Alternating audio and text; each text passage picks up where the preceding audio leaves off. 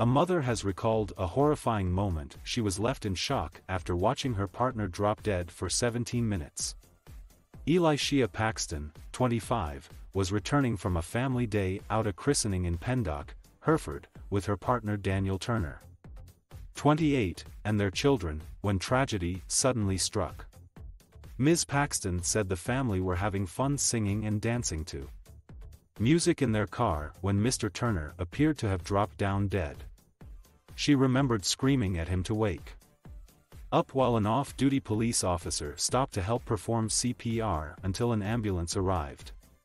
The sudden collapse was particularly scary as Mr. Turner was considered to be healthy as he often went to the gym and worked as a roofer by trade. Ms. Paxton, who met her partner three years ago in Brockworth, told Gloucestershire Live, We had been to a christening where I was asked to be godmother. It was a busy day with Daniel and I running around after the children playing on the bouncy castle. A friend had come to pick us up at 9.30 p.m. All of us, including Daniel, were singing and dancing in the car and then he just dropped dead instantly. We were literally five minutes away from home.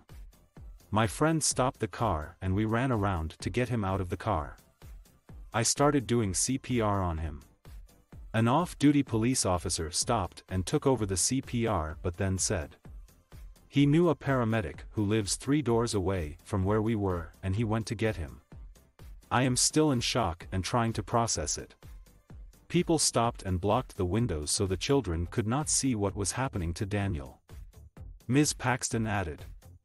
It was the worst thing she had ever seen as her partner battled to stay alive.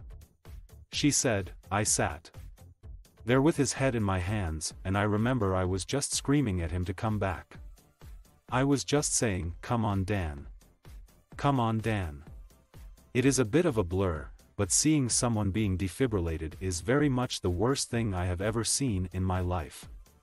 I had to step away from him when they shocked him, but the panic, I was telling them not to stop and to do everything they can.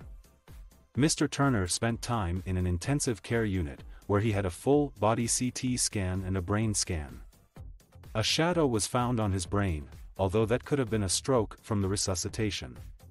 But he still managed to wake from a medically induced coma and has since been transferred to a hospital in Birmingham, where he is now getting treatment at a specialist electrical physician. Ms. Paxton shared her gratitude to those who helped Mr. Turner during his treatment.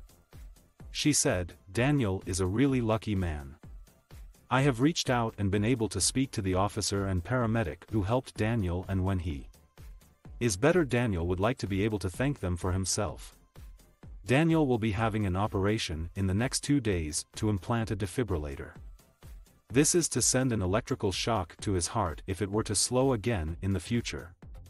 He had been having stress tests on a running machine at the hospital and he seems to be doing well. We have had tremendous support from friends and family. I have not been on my own since this happened, and we are so thankful.